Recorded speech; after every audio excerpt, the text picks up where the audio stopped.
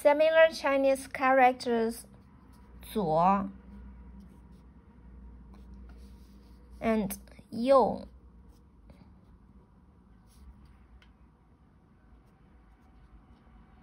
左右左 means left 右 means right 左 you could turn left here 你可以从这儿左拐右 right she raised her right hand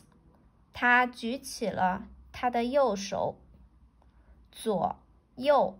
left right